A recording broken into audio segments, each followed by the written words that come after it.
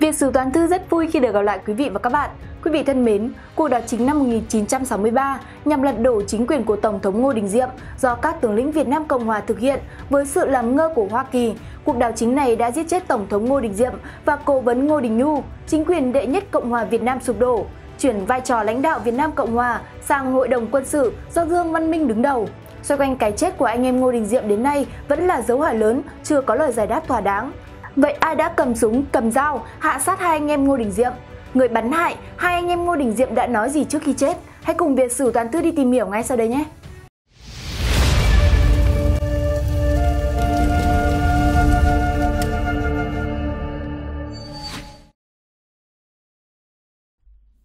Từ trước đến nay, dư luận đều đổ vào cho hai người, đó là tướng Dương Văn Minh và đại úy Nguyễn Văn Nhung. Về tướng Dương Văn Minh có nhiều tài liệu đã viết, còn chuyện đại úy quân đội Việt Nam Cộng hòa Nguyễn Văn Nhung sống chết như thế nào chưa có nhiều người biết. Đảo chính lật đổ chế độ Diệm chưa đầy 100 ngày thì các tướng Trần Thiệm Khiêm, Nguyễn Khánh và đại tá Nguyễn Chánh Thi làm cuộc chỉnh lý 30 tháng 1 năm 1964. Để trả thù cho ông cụ, cụm từ của tướng Nguyễn Khánh đã nói với bà Trần Trung Dung, cháu gọi ông Diệm bằng cậu. Những người làm chỉnh lý bắt ngay thiếu tá Nguyễn Văn Nhung Nguyễn Văn Nhung mới lên thiếu tá từ sau ngày đảo chính mùng 1 tháng 11 năm 1963.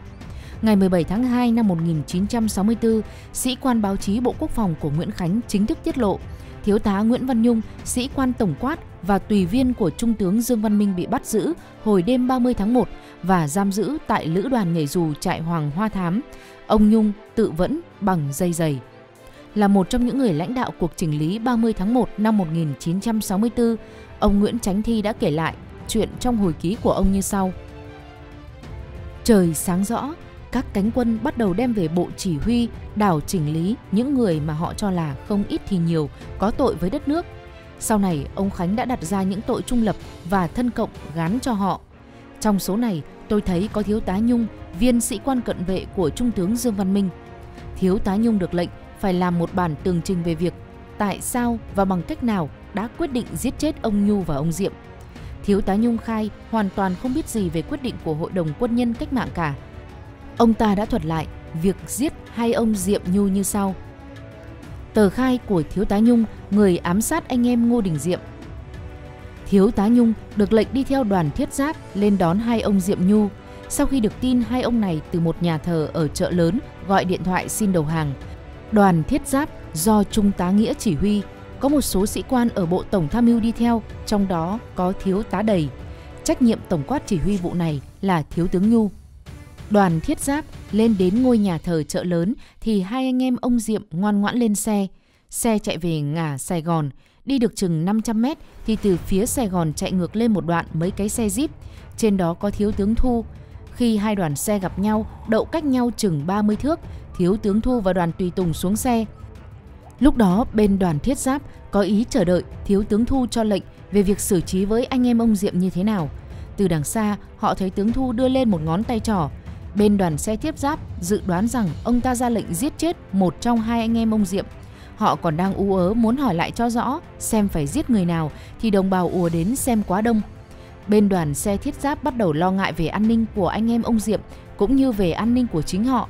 Họ nghĩ rằng dư đảng Cần Lao có thể trà trộn giải vây cho anh em ông Diệm hoặc dân chúng phẫn uất có thể giết chết hai ông này. Họ muốn chạy băng qua để hỏi lệnh cho rõ, nhưng dân chúng vây chặt, không thể nào đi được. Khi đó, lại thấy tướng Thu đưa lên hai ngón tay, ngón trỏ và ngón giữa của bàn tay trái, với hai ngón khép lại với nhau, chỉ vào hai ngón tay của bàn tay phải giơ lên. Họ nghĩ rằng ông ra lệnh bắn cả hai anh em ông Diệm. Tôi, tức Thiếu tá Nhung, rút khẩu súng côn 12 bắn mỗi người 5 phát. Sau đó hăng máu bồi thêm cho ông Nhu 3 phát nữa vào ngực. Đồng thời, đoàn xe thiết giáp được lệnh dẹp đường chạy về bộ tổng tham mưu. Cùng lúc, tướng Thu cũng cho đoàn xe quay đầu chạy trước đoàn xe thiết giáp cùng hướng về bộ tổng tham mưu. Trong lúc xe chạy thì thiếu tá đầy cúi xuống lấy cái cặp của ông Diệm nói là sẽ đem về trình hội đồng quân nhân cách mạng. Dường như trong cặp ấy có rất nhiều đồ vật, tài liệu quý giá. Cuối tờ khai Thiếu tá Nhung kết luận, tôi chỉ vì hăng say theo lệnh cấp trên mà đã làm như thế. Nội trong đêm, sau khi làm tờ khai, Thiếu tá Nhung trong phòng tạm giam ở Bộ Tổng Tham mưu đã lấy dây giày của mình thắt cổ tự sát. Tôi được tin không khỏi ngậm ngùi cho số kiếp của một sĩ quan trung thành với cấp trên, không lường được hậu quả to lớn của việc mình làm, không có ý thức chính trị hướng dẫn, đến khi một mình chịu tội, một mình thác oan. Đoạn trích trên đây có lời tự thuật của Thiếu tá Nhung, người được xem là xạ thủ đã giết chết anh em ông Ngô Đình Diệm.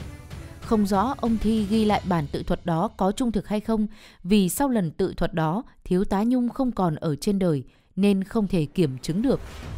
Giả như bản tự thuật đó trung thực thì ta thấy Thiếu tá Nhung vào giờ phút nguy nan nhất vẫn rất bình tĩnh. Thứ nhất, nhận hết trách nhiệm về việc hạ sát anh em ông Ngô Đình Diệm.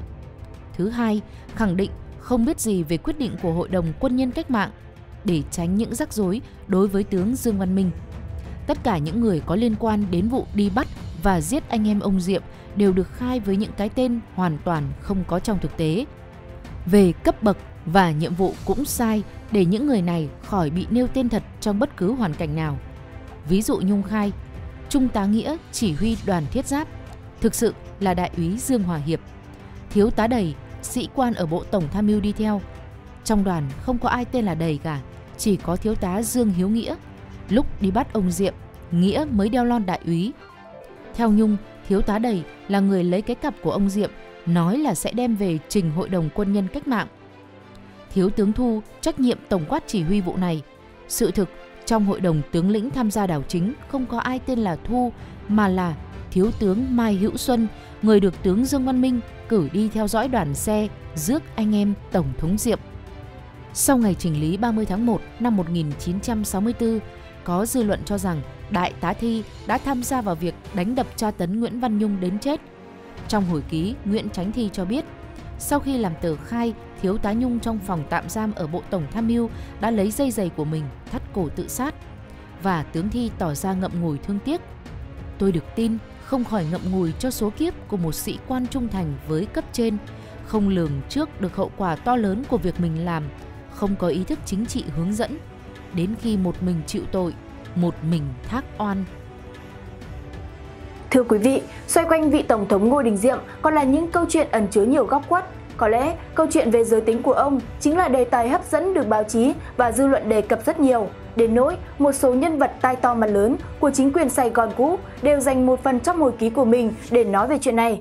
Vậy lý do gì khiến Ngô Đình Diệm không quan hệ mật thiết với người phụ nữ nào? Hãy cùng Việt Sử Toán Thư đi tìm hiểu ngay sau đây nhé! Ông Nguyễn Hữu Thủy năm nay đã hơn 90 tuổi, định cư tại Mỹ, người hầu thân tín của Ngô Đình Diệm và được ông lần đầu tiết lộ những điều mắt thấy tai nghe để hé mở những nghi vấn này.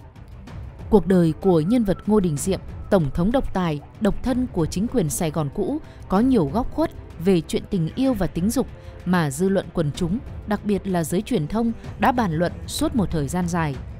Trong những câu chuyện tình yêu của Ngô Đình Diệm, giới truyền thông khi đó đưa ra hai nghi vấn lớn. Ông Diệm là người đàn ông bất bình thường về tính dục, hay ông Diệm bị xuôi cò, trên bảo dưới không nghe. Ngược lại, có những nhân chứng quả quyết, ông Diệm từng có tình nhân và đã có một con trai với một phụ nữ Nam Bộ không hôn thú. Câu chuyện của giới truyền thông đã thu hút sự tò mò của dư luận trong suốt một thời gian dài. Nhiều nhân chứng thân cận với ông Diệm trong phủ Tổng thống, từ tướng Trần Văn Đôn, đeo hàm thiếu tướng, tham mưu trưởng quân đội dưới thời Ngô Đình Diệm, cho đến Phạm Văn Nhu, cựu Chủ tịch Quốc hội nền đệ nhất Cộng hòa của chính quyền Sài Gòn cũ. Thẩm phán Nguyễn Cần hay tri phủ Ngoại Thế Cầu, những người bạn của cả gia đình họ Ngô, Phạm Văn Nhu, bạn học thời niên thiếu, và thậm chí cả chùm CIA tại Sài Gòn khi đó là tướng Landes cũng đã lên tiếng qua các phương tiện truyền thông hoặc trong hồi ký về chuyện này. Theo Landes, chùm CIA ở Sài Gòn một thời đã viết trong hồi ký rằng khi tôi đề nghị với Diệm về việc đi nghỉ mát ở bờ biển, ông Ngô Đình Diệm không chịu đi.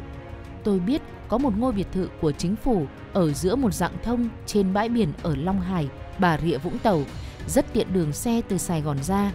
Nơi đây là một địa điểm nghỉ mát lý tưởng. Dù Diệm không có ý kiến rõ rệt, nhưng gia đình Diệm ai cũng hăng hái với lời đề nghị này. Chỉ vì không muốn phá bỏ bầu không khí không vui vẻ của mọi người trong gia đình nên đã đồng ý đi nghỉ cuối tuần. Dẫu vậy, nhìn về mặt Diệm chẳng thấy vẻ hài lòng khi đưa ra quyết định đó. Trong chuyến đi ấy, cận thần đã mang cho Diệm mấy cái quần tắm nhưng ông ta không thích dùng mà chỉ dùng đồ lót của mình.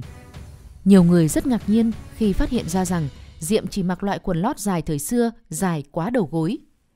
Trong hồi ký của tướng Trần Văn Đôn kể rằng, những buổi tối rảnh rỗi, Ngô Đình Diệm thường gọi một số người thân cận vào dinh để ngồi trò chuyện chính trị, chuyện riêng tư của ông cho họ nghe. Tướng Lê Văn Tị, Trần Văn Đôn và Văn Thành Cao là những người hay được ông Diệm đột ngột triệu tập vào dinh, có khi sau 10 giờ đêm. Qua những câu chuyện đó, họ lờ mờ đoán rằng ông Tổng thống đầy quyền lực một thủa không lập gia đình, có lẽ do thời niên thiếu và cả lúc trưởng thành đã được chứng kiến cảnh vợ chồng bất hòa, cảnh bà vợ hỗn láo với các ông chồng.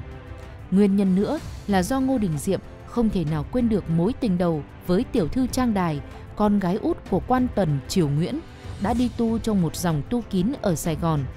Nên sau này, ông Diệm tự dưng cảm thấy ngán lấy vợ, chỉ sống độc thân cho đến lúc về với thế giới bên kia.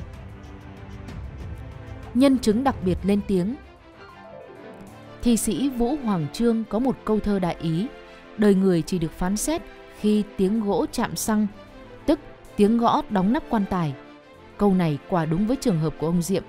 Lúc ông Diệm còn sống và đương chức, Người ta còn bàn tán rẻ rặt chuyện thâm cung bí sử Vì ngán đám mật vụ tay sai nhà ngô nhưng khi ông ta bị nhóm tướng lĩnh thân cận đảo chính và giết chết thì tha hồ người ta, nhất là báo giới Sài Gòn, bàn tán sôi nổi về đủ thứ chuyện thâm cung bí sử của gia đình họ Ngô. Trong đó có chuyện về tình yêu, tính dục của Ngô Đình Diệm được khai thác tối đa. Có một bài báo đăng trên tờ Thẳng Tiến của giới công giáo khi đó do tác giả có bút danh Tú Gàn, thẩm phán Nguyễn Cần, quả quyết. Sau khi hạ sát anh em Diệm Nhu tướng Dương Văn Minh, người cầm đầu cuộc đảo chính cũng tò mò và ra lệnh vạch quần Diệm ra xem có cái đó không. Nhưng khi mục kích tận mắt, thấy Diệm cũng là đàn ông bình thường thì quay mặt bỏ đi, để lại đám sĩ quan đứng nhìn nhau, tủm tỉm cười. Mặc dù không có mặt vào điểm kể trên, nhưng ông Nguyễn Hữu Thùy, người hầu cận tin cẩn suốt thời gian Ngô Đình Diệm làm tổng thống chính quyền Sài Gòn cũ, cũng xác nhận ông Diệm là người đàn ông bình thường về mặt cơ thể, Ông Nguyễn Hữu Thủy năm nay đã ngoài 90 tuổi, hiện định cư tại Mỹ và có chuyến về thăm quê ở Đốc Sơ, Hương Trà, Thừa Thiên Huế gần đây. Do có quan hệ gia đình thông gia nên người viết bài này đã có dịp theo chân ông vào thăm lại dinh độc lập, ra Bạch Dinh Vũng Tàu vừa đi vừa chuyện trò.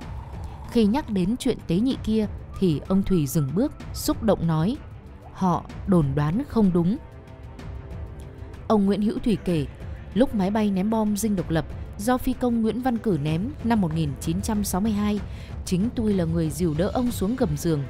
Thường ngày ông uy nghi bao nhiêu thì khi có tiếng bom nổ, ông rét run rồi đúng như câu sợ xón đái, đứng lên không vững. Ông phải dựa vào tôi để thay quần nên tôi thấy rõ.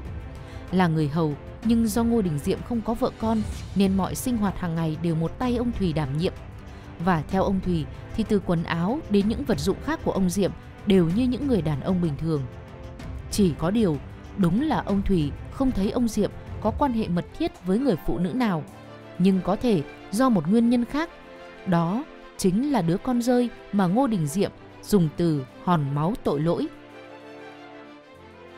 Sau này Ngô Đình Cần là em út của ông Ngô Đình Diệm cũng cho biết, ngay từ hồi còn niên thiếu, ông Diệm đã không thích gặp hay trò chuyện với bất cứ người đàn bà con gái nào, trừ mẹ và chị em ruột trong gia đình.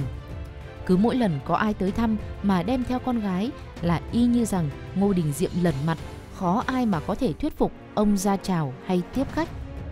Mọi người trong gia đình thấy Diệm đã lớn tuổi nên ra sức khuyên bảo và nhiều lần bàn đến chuyện vợ con cho ông Diệm.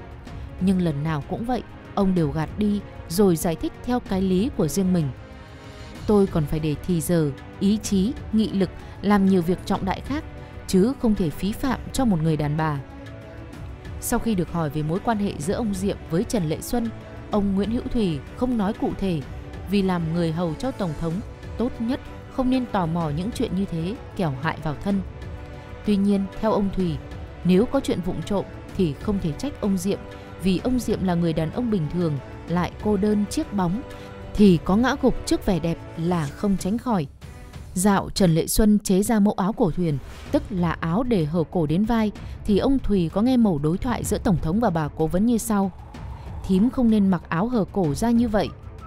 Trời Sài Gòn nóng quá, em mặc vậy cho mát, anh đừng lo.